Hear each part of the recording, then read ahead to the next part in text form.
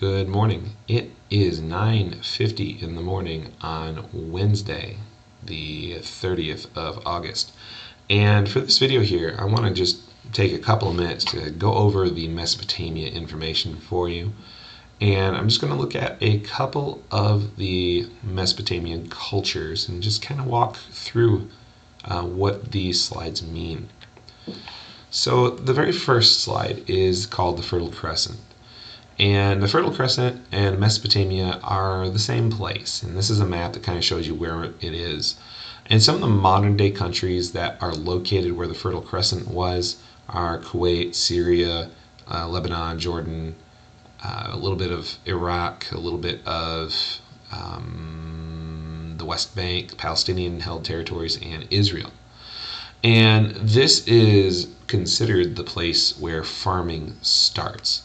There are the two rivers. There's the Tigris River, the Euphrates River. They're fed by snowfall out of the Taurus Mountains of what would be today Turkey. And this is going to be the site where we get our first complex societies as well. This is going to be where uh, the Sumer and Akkadia and Babylonia and a bunch of other civilizations are going to grow up. And the first of these civilizations I'm going to mention is ancient Sumer. Now, you might notice this is a nice round number, 3000 to 2000 BC. I'm just trying to make it easy to understand. The dates are a little bit subjective. But ancient Sumer, these are going to be a bunch of independent city states. It's not a unified country or anything like that in the, the way that we think about it today. Um, these are going to be local locally led cities that have a similar lifestyle. And they're going to be led by somebody who is known as an ensi, or today would be basically the equivalent of a governor. Now, we don't know a lot about them. Uh, we're guessing that they were probably elected by the people. Uh, we're pretty sure that the priests helped them because the priests had a very high role in ancient Sumer. And the priests, believe it or not, um, they're not just religious figures. They're going to be the ones that are in charge of farming. They're the ones that tell people what to plant, what to grow, things like that. And the idea is that priests are the ones who talk with or talk to the gods. The writing language of cuneiform is actually going to be created by the priests as a way to keep track of business transactions. All the farmers were expected to bring food into the temple. And then, as a receipt for this, a tablet was going to be taken, numbers or whatever put on it, and then that would be put into a fire so it would harden and then they would keep it later. And speaking of cuneiform, um, it's originally going to be for business transactions, but eventually it's going to be used for laws and math and writings and everything else. And here's some examples of what cuneiform looked like. Now, as we get closer to modern day times, the cuneiform it's still used, but it does get simplified and it gets a little bit easier to understand. Sumerian math is something that you use every day. Now, if you're looking at a clock trying to figure out how much longer this class is going to happen or this lecture is going to happen, uh, you're using Sumerian math, and that's because Sumerian math was based on the number 60. And we have 60 seconds in a minute, 60 minutes in an hour, uh, 24 hours in a day. That's a multiple of 60. Um, math is used in uh, Sumerian numbers all the time. Uh, we also have Sumerian law. I'm not going to read you all of the the examples, but I'll read you a couple of them One very famous one says, If a man entered the orchard of another man, it was seized there for stealing, he shall pay 10 shekels of silver. In other words, you caught stealing, you pay for what you stole. Another one, if a man rented an ox and damaged its eye, he shall pay one half of its price. So if you break somebody else's equipment or belongings, you should replace it or pay for it. Another one says if a man married a wife and she bore him children, and those children are living, And a slave also bore children for her master, but the father granted freedom to the slave and her children. The children of the slave shall not divide the estate with the children of the former master. So some of these are actually kind of complicated, which might surprise you that they had complicated and complex law then as well. There's a couple other options and ideas on here, but you kind of get the idea. These laws are very much ethically based. Sumerian proverbs. Uh, here's just a list of them. Um, a sweet word is everybody's friend. Uh, friend. Friendship lasts a day, kinship lasts forever. Or another one, a scribe who, whose hand moves as fast as his mouth, that's a scribe for you. So these are very interesting proverbs here, too. Uh, Sumerian religion is complicated, and they use their religion as a way to explain the world around them. Uh, Sumerian religion, the gods, uh, there are multiple gods, so they are polytheistic. Um, their gods are seen as in control of natural and physical forces. And their gods, An, Ki, Enlil, Shemesh, they're very much seen as being capricious, meaning that they are going to play with the emotions and toy with the emotions of humans. They're also going to be openly hostile to humans. And when these gods get mad or angry at the people, that's when you get floods and droughts and the failure of crops and things like that. The temples are often in the middle of cities, and they're, they're these temples that look like step temples or Mayan temples, if you will, if you've ever seen those. And these temples are called ziggurats. And then at the top of the temples are where the rituals are done to keep An, Ki, Enlil Shemesh and others happy. This PowerPoint, I've got an example of Sumerian music. If anybody's interested in this, send me an email and I will give you this updated copy of this. And this is actually kind of an interesting song. You might like it if you're into music. The Sumerians are going to be replaced by the Babylonians. And once again, uh, just easy round numbers 2000 to 1500.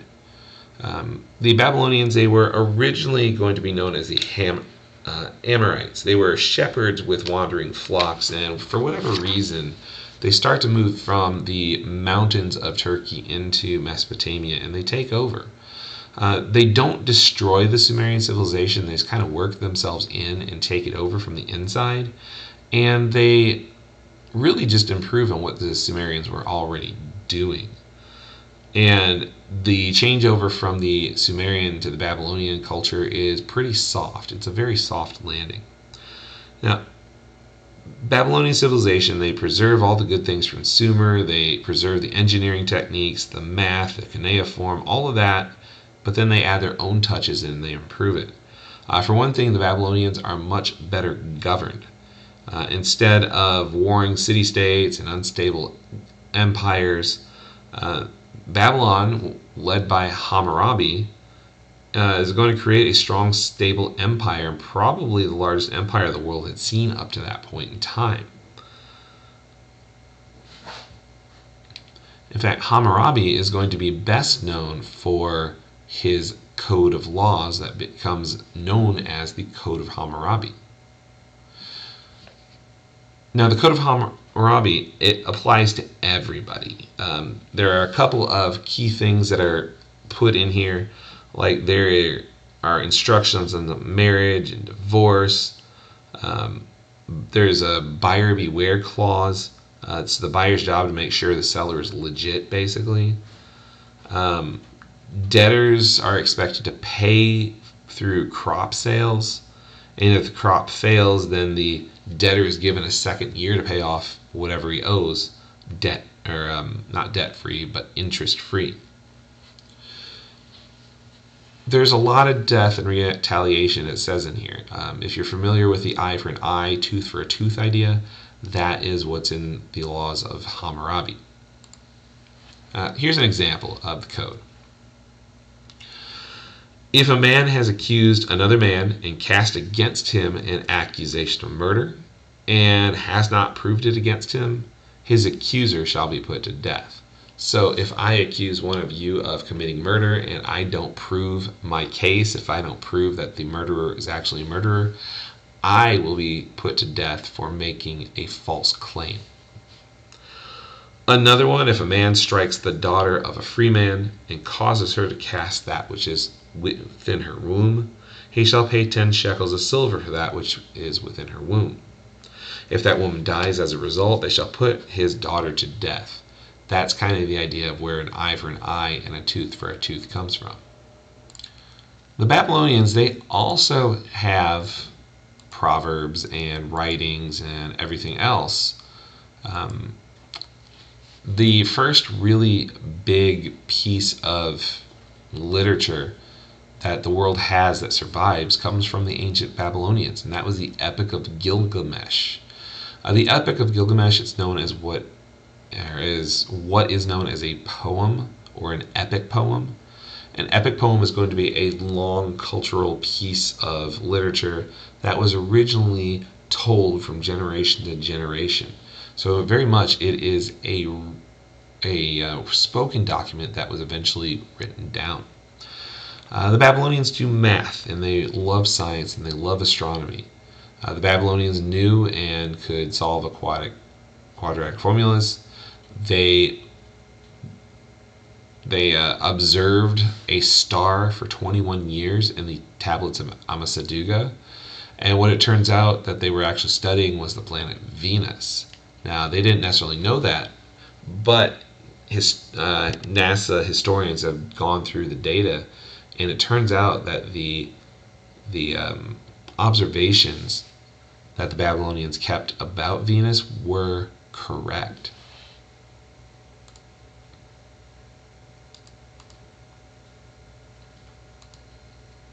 Let me skip through this story here and go straight to the Assyrians.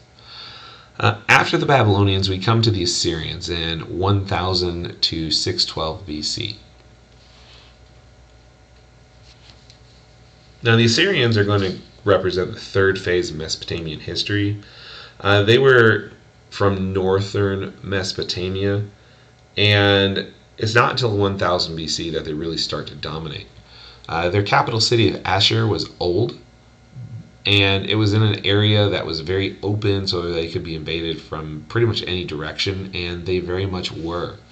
Eventually they grow bitter and they start to fight back. And then once they can fight back they're going to go and um, start taking over others now what the assyrians end up doing is conquering a huge piece of territory and their civilization is going to stretch from what is modern day turkey all the way to modern day egypt and they were not very friendly. They would use terror to try and stop revolts. And when they conquered you, they really had two different ways of doing it. Either you surrendered willingly and they let you keep your leaders, or they just annihilated you. They, they took over by force, they turned you into slaves, and they kicked you out of your own territory. Assyrian warfare uh, is going to consume them. Every piece of their society is based on warfare. Their technology is based on warfare, such as this siege weapon here.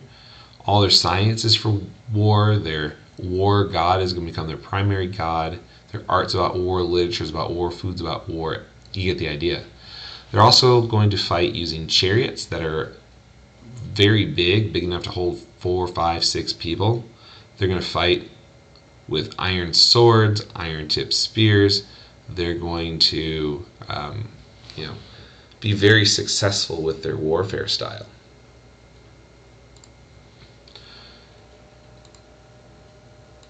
Now, Assyrian laws are very, very strict, and their laws are very much based on the idea of warfare. Uh, for example, if a woman has damaged a man's testicle in a quarrel, they shall cut off her finger. If she has damaged the second testicle in the quarrel, they shall tear out both her ovaries. So this is like an eye for an eye or a tooth, a tooth for a tooth on steroids.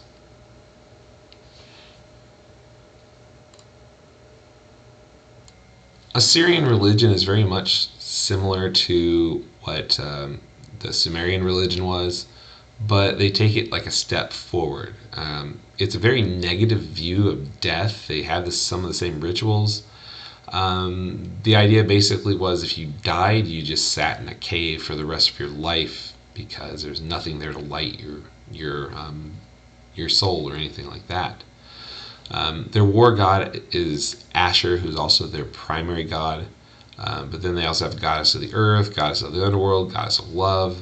Uh, there's like thousands of them, but there's only about 20 or so that are important. And this is an example of an Assyrian temple. This is where the Assyrian god and goddesses lived. And they thought that their gods and goddesses physically and realistically lived there. So, in the center of each of these temples is a sealed room that was supposed to be the special chamber for their gods and a place where their gods can rest or look out for whatever's happening or maybe even, you know, order up a flood. Uh, each temple has a courtyard, a fountain, an altar to burn something, and other things as well. And they're also doing like drinking celebrations, or sprinkling water on people, and they're doing ritualistic sacrifice too. Um, Assyrian marriage is very interesting. It's by contract. Basically, uh, in Assyrian marriage, you're not marrying for love, you're not marrying for lust, even. You're marrying for financial reasons. Uh, Sumerian death is very harsh. Their their marriage is harsh. Their death is harsh, and there's in their afterlife. There's no paradise. There's no special rewards.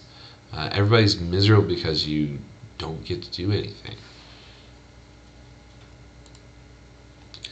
Eventually, the kingdom of Syria is going to fall. Uh, the Egyptians will be conquered by Assyria, but eventually they're going to start fighting back, and then others who have a problem with the Assyrians, they start fighting back too. Eventually, the Assyrians will be defeated by Nebuchadnezzar, who is a member of the Chaldean clan, but the Chaldean clan is better known today as the Babylonians or the New Babylonians. Which brings us to the Chaldeans or the New Babylonians. Now, their date's very specific 612 BC to 539 BC. We know when their civilization started, we know when it ended. Um, they basically try to undo everything that the Assyrians had. They bring back the old religion, the old way of life. They make the city of Babylon a center of science and learning. But unfortunately, the Chaldeans, they too, fest, um, they too are going to be. Um, um, I can't remember what I was going to say. Wow. Um, well, oh yeah, the the Chaldeans they're going to try and undo everything that the the Assyrians did, and they try to bring back all of the stuff that the original Babylonians did. They bring back the Code of Hammurabi, uh, Marduk. They bring back the temples and ziggurats. And although the Chaldeans they don't last for very long, they're very wealthy, very powerful, and they serve as a rebirth for the region. So um, that's what happens. Uh, the end of the Chaldeans is kind of sad, though. Um, the people are very distrustful. They don't trust anybody, and it's kind of a miserable life, even though they're wealthy. And for whatever reason, one of the kings of Persia named Cyrus is going to attack Babylon, and there's a food shortage. And the leaders of Babylon, what they decide to do is line up all the women, and they kill 10 women and leave one woman alive And that one woman who lives is supposed to bake bread for all the men. So all the women are killed except for a couple of dozen, and that's what's left. Uh, Belshazzar, who's the final king of the the um, Neo Babylonians or the the Chaldeans, um, he's not too worried about his city. In fact, he has put walls around the city, and he thinks that's going to protect him. And when his city is under attack, all he does is sits there. He closes the gates and he says, "Okay, um, we'll fight him off from here."